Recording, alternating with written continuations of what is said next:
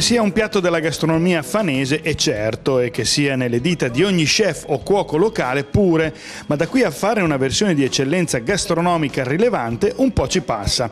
Non basta metterci le varietà giuste di pesce o gli ingredienti corretti per farne uno da premio, bisogna avere la cultura gastronomica corretta. Ogni anno la coda del Festival internazionale del brodetto delle zuppe di pesce è la proclamazione del miglior brodetto eseguito in un ristorante della zona, decretato da esperti ed accademici che si sono sobbarcati il piacevole onere di testare le preparazioni degli chef.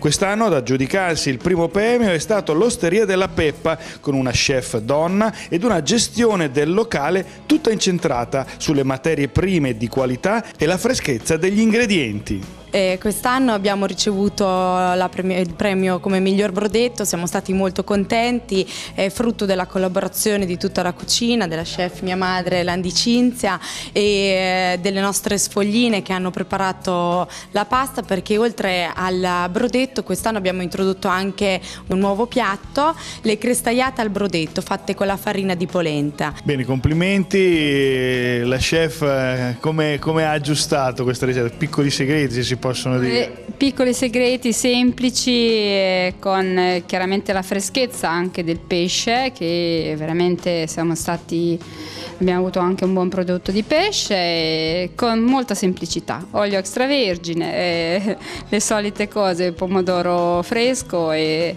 quant'altro, insomma quello che serve per il brodetto è semplice insomma.